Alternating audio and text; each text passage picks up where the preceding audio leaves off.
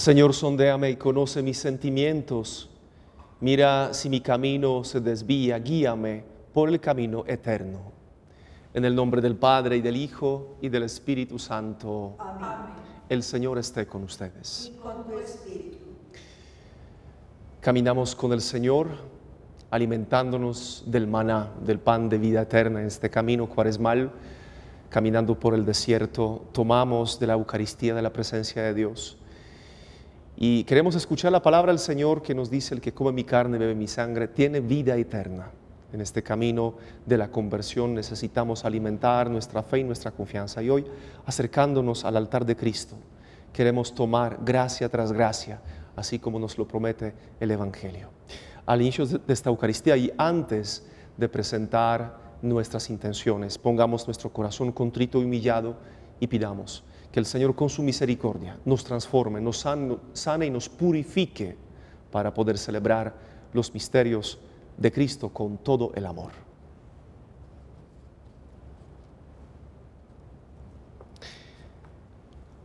Señor, ten misericordia de nosotros. Muéstranos, Señor, tu misericordia. Dios Todopoderoso tenga misericordia de nosotros, perdone nuestros pecados y nos lleve a la vida eterna. Amén.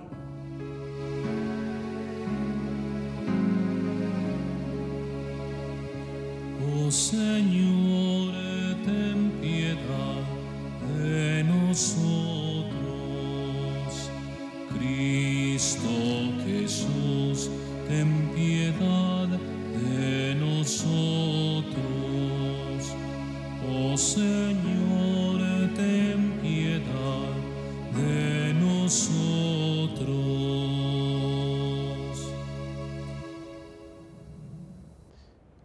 Oremos.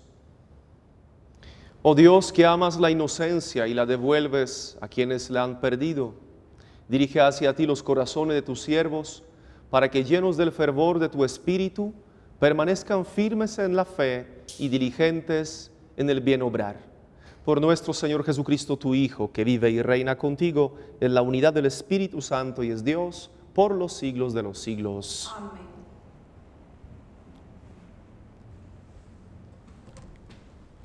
Lectura del libro de Jeremías. Esto dice el Señor. Maldito quien confía en el hombre y busca el apoyo de las criaturas, apartando su corazón del Señor. Será como cardo en la estepa que nunca recibe la lluvia, habitará en un árido desierto, tierra salobre e inhóspita. Bendito quien confía en el Señor y pone en el Señor su confianza. Será un árbol plantado junto al agua que alarga la corriente sus raíces.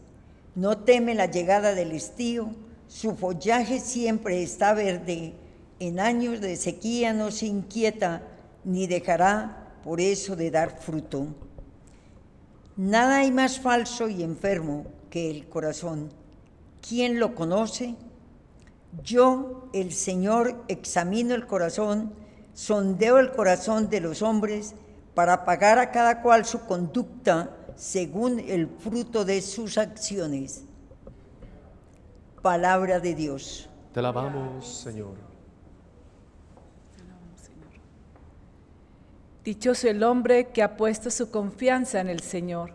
Dichoso el hombre que ha puesto su confianza en el Señor. Dichoso el hombre que no sigue el consejo de los impíos, ni entra por la senda de los pecadores, ni se sienta en la reunión de los cínicos, sino que su gozo es la ley del Señor y medita su ley día y noche. Dichoso el hombre que ha puesto su confianza en el Señor. Será como un árbol plantado al borde de la sequía. Da fruto a su tiempo y no se marchitan sus hojas, y cuanto emprende tiene buen fin. Dichoso el hombre que ha puesto su confianza en el Señor. No así los impíos, no así. Serán paja que arrebata el viento, porque el Señor protege el camino de los justos, pero el camino de los impíos acaba mal. Dichoso el hombre que ha puesto su confianza en el Señor.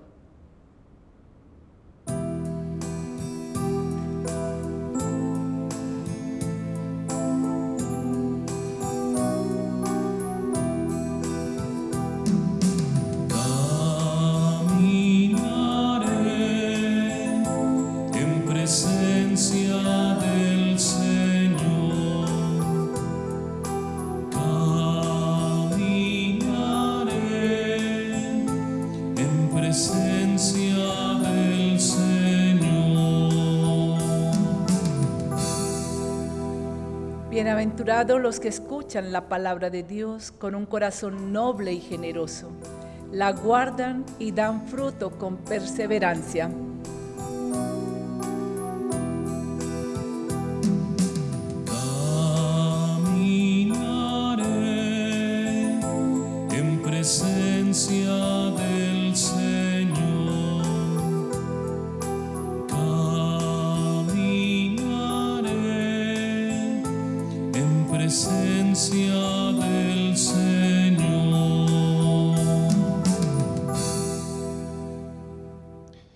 Señor esté con ustedes.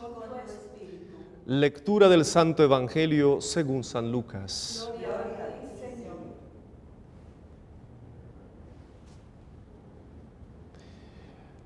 En aquel tiempo dijo Jesús a los fariseos, había un hombre rico que se vestía de púrpura y de lino y banqueteaba cada día. Y un mendigo llamado Lázaro estaba echado en su portal cubierto de llagas y con ganas de saciarse de lo que caía de la mesa del rico. Y hasta los perros venían y le lamían las llagas. Sucedió que murió el mendigo y fue llevado por los ángeles al seno de Abraham. Murió también el rico y fue enterrado. Y estando en el infierno, en medio de los tormentos, levantó los ojos y vio de lejos a Abraham y a Lázaro en su seno, y gritando dijo, Padre Abraham, ten piedad de mí y manda a Lázaro que moje en agua la punta del dedo y me refresque la lengua, porque me torturan estas llamas. Pero Abraham le dijo, Hijo, recuerda que recibiste tus bienes en tu vida y Lázaro a su vez males. Por eso ahora él es aquí consolado mientras que tú eres atormentado. Y además, entre nosotros y ustedes se abre un abismo inmenso para que los que quieran cruzar desde aquí hacia ustedes no puedan hacerlo, ni tampoco pasar de allí hasta nosotros. Él dijo, te ruego entonces, Padre, que le mandes a casa de mi, de mi Padre, pues tengo cinco hermanos, que les dé testimonio de estas cosas, no sea que también ellos vengan a este lugar de tormento. Abraham le dice, tienen a Moisés y a los profetas, que los escuchen. Pero él le dijo, no, padre Abraham, pero si un muerto va a ellos, se arrepentirán. Abraham le dijo, si no escuchan a Moisés y a los profetas, no se con- convencerán ni aunque resucite un muerto. Palabra del Señor.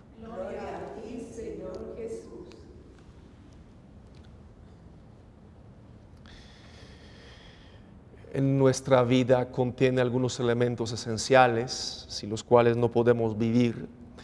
No podemos vivir eh, sin oxígeno, no podemos vivir sin agua, sin alimento, y tampoco podemos vivir sin fe y confianza. Y me refiero a la fe natural. No podríamos ni siquiera someternos a un procedimiento médico si no confiamos en ello, si no, no creemos en la eficacia de la medicina. Lo mismo podríamos decir sobre los arquitectos, sobre los pilotos, sobre los científicos que exponen la ciencia, la cual no podemos corroborar nosotros. Y ahora, llegando a un nivel diferente, al nivel espiritual, lo mismo decimos cuando nos referimos a la espiritualidad cristiana, que queremos entender mucho más desde la perspectiva divina, entendiendo los elementos esenciales que hacen de ella un vínculo, una relación cercana e íntima con Dios. No podemos acercarnos a Dios sin fe, dice la palabra. Y entendemos que así como la relación interpersonal, también a nivel espiritual, la fe nos llena de seguridad la que sentimos, por ejemplo, con los amigos. Cuando nosotros confiamos en la persona que está a nuestro lado y nos escucha, nos ayuda, nos aconseja. La fe, como dice la carta a los hebreos, es la seguridad de lo que no vemos. Y esta seguridad de nosotros empieza a dar fruto abundante, así como lo escuchamos hoy de manera tan ilustrativa en la primera lectura del libro de Jeremías. Somos como un árbol plantado junto al agua, que alarga a la corriente sus raíces. No dejará de dar fruto. Y hoy nos acercamos a la palabra de Dios precisamente por el tema de la confianza y la fe que desde lo bíblico son sinónimos. Y no es una casualidad porque incluso en las revelaciones de la misericordia dadas a Santa Faustina Kowalska, Jesús ordena pintar una imagen y poner abajo de la imagen la frase sencilla, pero tan importante y significativa, Jesús, en ti confío. Esta confianza es parte de una gran bienaventuranza, así como lo escuchamos hoy. Bendito quien confía en el Señor y pone en el Señor su confianza. Y luego en el Salmo responsorial, dichoso el hombre que ha puesto su confianza en el Señor. Siguiendo las expresiones bíblicas, también escuchamos lo que dice Santa Isabel sobre la Virgen María. Dichosa tú, tú que has creído. Entonces nosotros Caminando hoy con nuestra religiosidad, con nuestra espiritualidad, con tantas prácticas que involucramos en este tiempo de cuaresma, no olvidemos de la confianza, no olvidemos de la fe, porque no queremos escuchar el reclamo de parte de Dios. Este pueblo me honra con los labios, pero su corazón está lejos de mí. La fe y la confianza hacen que nuestro corazón se acerque al corazón de Dios. Se fortalece la intimidad con nuestro Creador y nuestro Salvador empezamos a vivir la plenitud de la gracia y entender los misterios del reino de los cielos. Pero frente a un misterio tan grande, ¿cuál es la exclamación que podríamos repetir como los apóstoles? Señor, aumenta nuestra fe. Aumenta, Señor, nuestra fe. Y sí es cierto que si tuviéramos la fe como un granito de mostaza, podríamos vivir las realidades maravillosas y recibir tantas bendiciones hacer obras grandes. Nos preguntamos hoy, ¿cómo puedo nutrir mi fe y mi confianza en Dios? ¿Qué más necesito? Porque es cierto, y lo hemos hablado varias veces, en el seminario de vida nueva, lo propuesto en el camino de la renovación carismática, muchas veces algunos dicen, es suficiente hacer la proclamación desde la fe que Jesús es mi Señor y Salvador pero realmente no es suficiente. Yo puedo pronunciar con mis labios tantas cosas, pronunciar las oraciones hermosísimas, llorar en la experiencia espiritual, pero no es suficiente. Esta fe se nutre de la palabra de Dios. San Pablo va a decir a los romanos que la fe nace por el oír. Y lo que oímos, lo escuchamos, es la palabra de Dios. En este camino queremos escuchar la palabra de Dios que se convierte para nosotros en esta lámpara para nuestros pies. Esta palabra que continuamente está llenándonos del poder, del poder de lo alto. Y la fe necesita alimentarse también de las obras.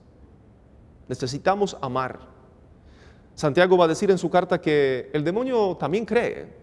Es una fe intelectual. Es una fe desde la inteligencia, como son los ángeles. Pero no es una fe que ame. En cambio nosotros podemos amar.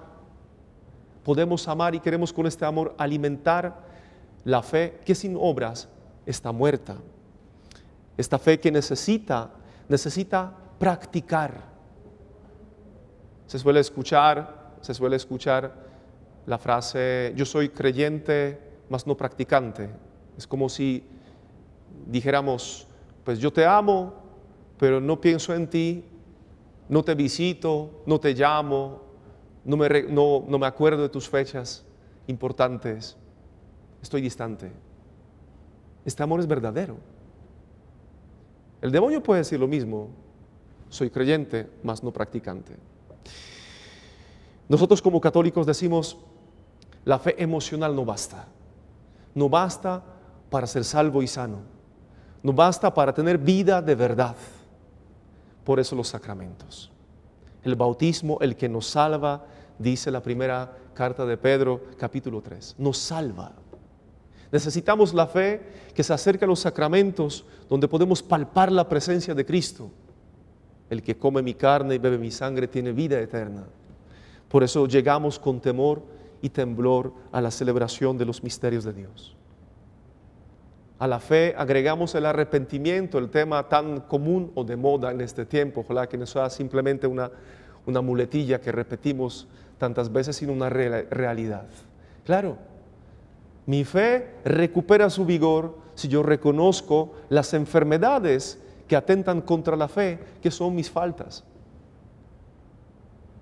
Y también entiendo que la iglesia que me involucra en la lucha me defiende con los escudos que es la fe, porque las puertas del infierno no prevalecerán contra ella. En la iglesia me siento protegido, la columna de la fe la columna de la verdad, perdón, la columna de la verdad, lo que dice Pablo a Timoteo.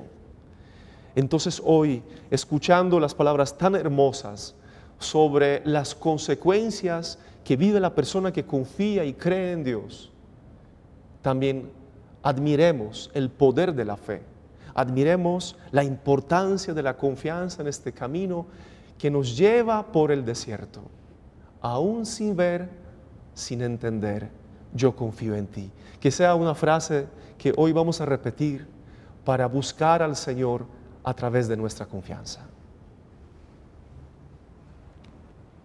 Te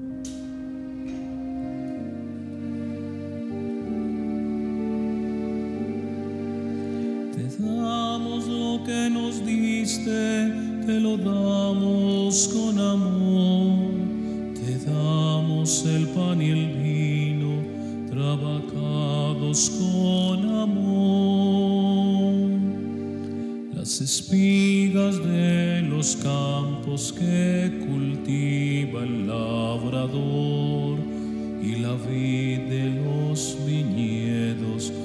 trabaja el viñador.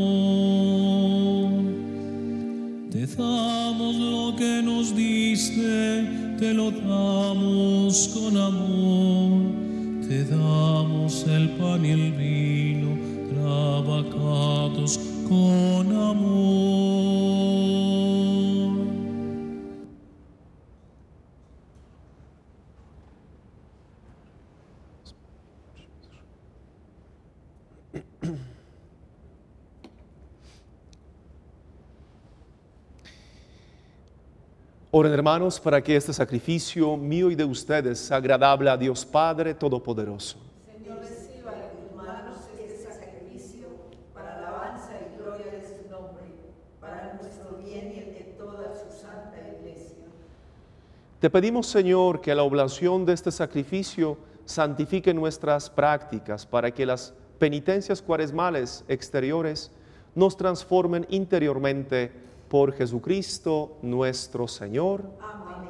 El Señor esté con ustedes. Con tu espíritu, Levantemos el corazón. lo tenemos levantado hacia el Señor. Demos gracias al Señor nuestro Dios. Es justo y necesario. En verdad es justo y necesario, es nuestro deber y salvación darte gracias siempre y en todo lugar, Señor Padre Santo, Dios Todopoderoso y Eterno. Porque quisiste que a nosotros pecadores, nuestras privaciones voluntarias nos libraran del orgullo, nos sirvieran de acción de gracias, nos hicieran imitadores de tu bondad, al entregarlas para alimento de los pobres. Por eso con todos los ángeles te glorificamos a una voz y proclamamos tu alabanza.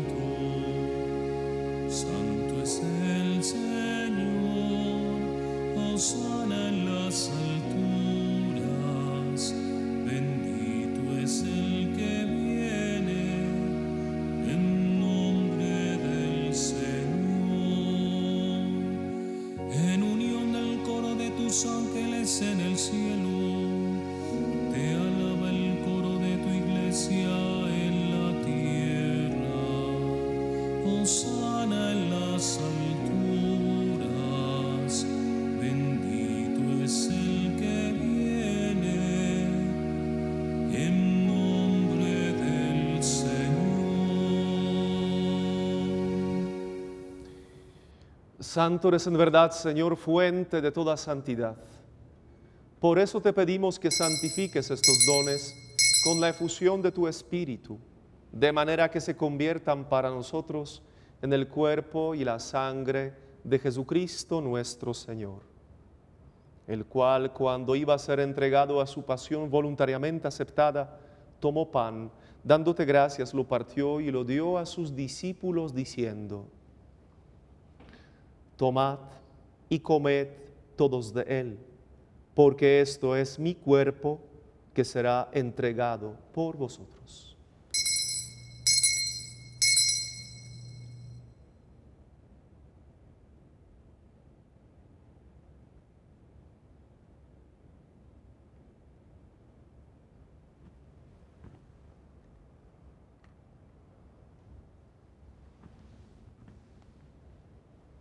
Del mismo modo, acabada la cena, tomó el cáliz y dándote gracias de nuevo, lo pasó a sus discípulos diciendo, Tomad y bebed todos de él, porque este es el cáliz de mi sangre, sangre de la alianza nueva y eterna, que será derramada por vosotros y por muchos para el perdón de los pecados. Haced esto en conmemoración mía.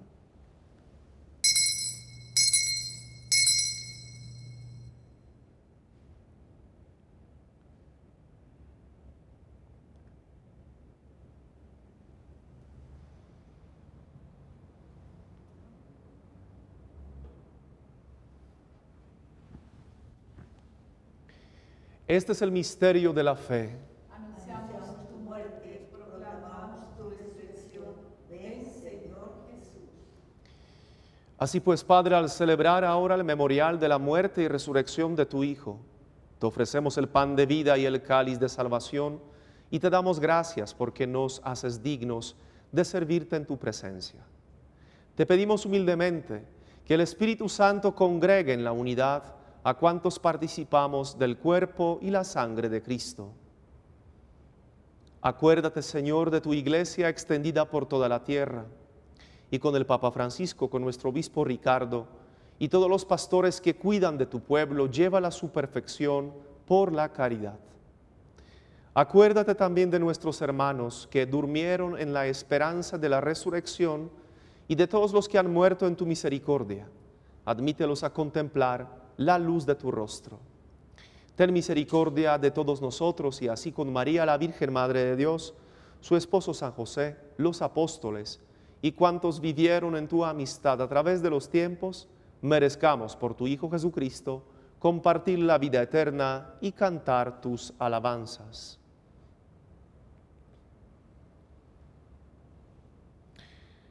Por Cristo, con Él y en Él, a ti Dios Padre Omnipotente, la unidad del Espíritu Santo, todo honor y toda gloria por los siglos de los siglos. Amén.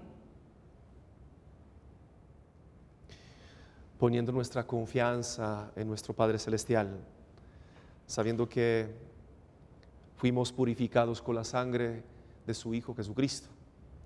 Expresemos nuestra oración diciendo, Padre nuestro, que estás en el cielo, santificado sea tu nombre. Venga a nosotros tu reino. Hágase tu voluntad en la tierra como en el cielo. Danos hoy nuestro pan de cada día. Perdona nuestras ofensas, como también nosotros perdonamos a los que nos ofenden. No nos dejes caer en la tentación y líbranos del mal Líbranos de todos los males, Señor, y concédenos la paz en nuestros días, para que, ayudados por tu misericordia, vivamos siempre libres de pecado y protegidos de toda perturbación, mientras esperamos la gloriosa venida de nuestro Salvador Jesucristo. Señor Jesucristo, que dijiste a tus apóstoles, la paz os dejo, mi paz os doy. No tengas en cuenta nuestros pecados, sino la fe de tu iglesia. Y conforme a tu palabra, concédele la paz y la unidad. Tú que vives y reinas por los siglos de los siglos. Amén. La paz del Señor esté siempre con ustedes. Y con tu espíritu. Dense fraternalmente la paz.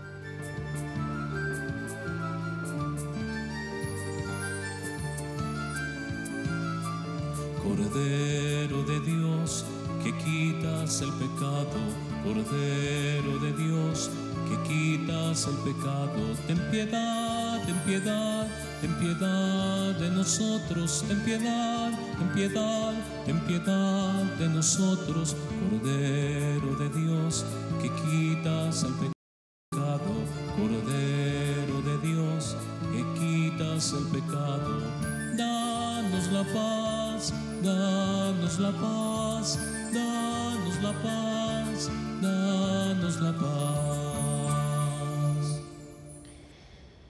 Este es el Cordero de Dios que quita el pecado del mundo. Dichosos los invitados a la cena del Señor. Señor, no soy digno de que entres en mi casa, pero una palabra tuya bastará para sanarme.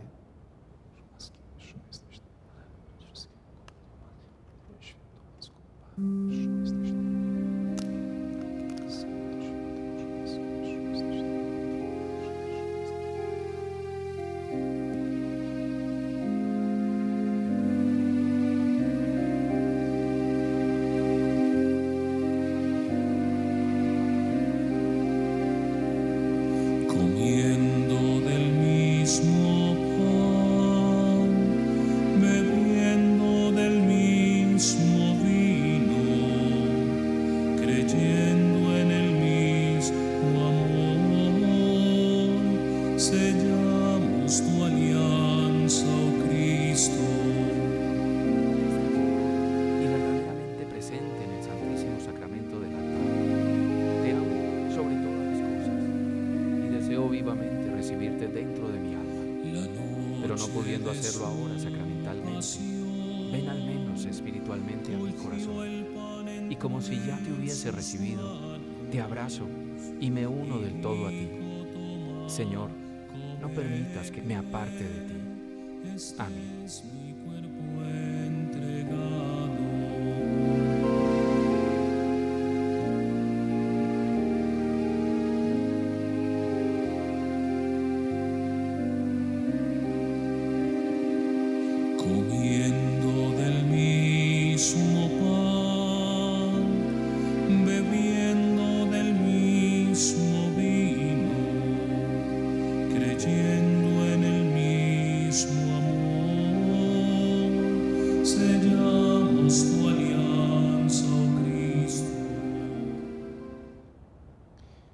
Oremos. Concédenos, Señor, que este sacrificio prolongue su acción en nosotros y nos fortalezca con su eficacia por Jesucristo nuestro Señor. El Señor esté con ustedes. Ayuda, Señor, a tus ser- ser- servidores que imploran el auxilio de tu gracia, para que conserven la guía y la ayuda de tu protección por Jesucristo nuestro Señor. Y la bendición de Dios Todopoderoso y Misericordioso, Padre, Hijo y Espíritu Santo, descienda sobre ustedes y les acompañe siempre. Pueden ir en paz.